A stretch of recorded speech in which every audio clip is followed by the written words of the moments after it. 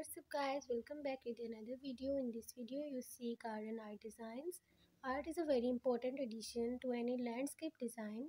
In many ways the addition of art makes the garden but few people think about this aspect of gardening.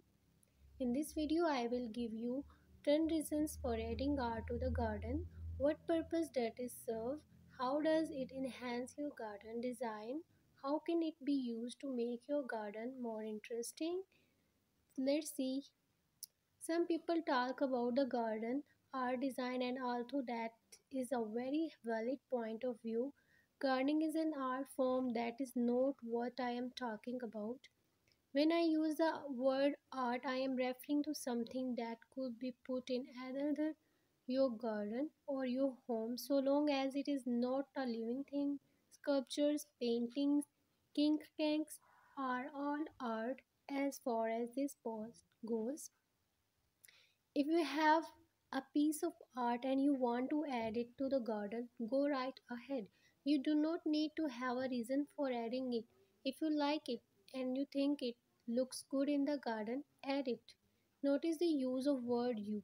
I am a big believer that a garden should reflect your wants and needs and nobody should be telling you what to do with your design. Your design is always right. However, if you better understand how art can help a garden design, you might be able to use that favorite piece of art in a better way. Maybe you will place it more efficiently, or you might select a piece that fits better in your garden. Understanding the why of something is always important.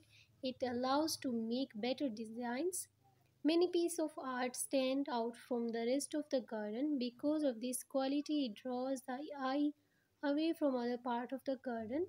It becomes a focal point. This can be a good thing or a bad thing depending on your goals for the garden.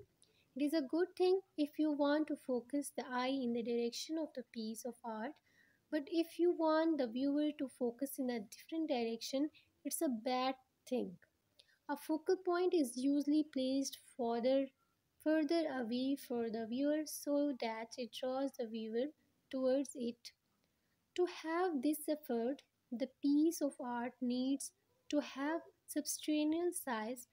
A 6 inch statue placing 100 feet away just does not work. It is not important that the viewer can see a lot of detail from further away, but they must be able to recognize a piece as something of interest. It should attract the viewer to move towards it for a closer look. Most art will have a different texture and shape than the plants in the garden.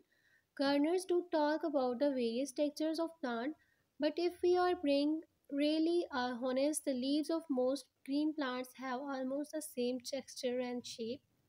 They tend to be smooth and small. Up close the shape does vary but when you look at a bed of plants from even a short distance, all you see a field of green. Art can dramatically change either the texture. Which idea do you like the most? Tell me in the comment box.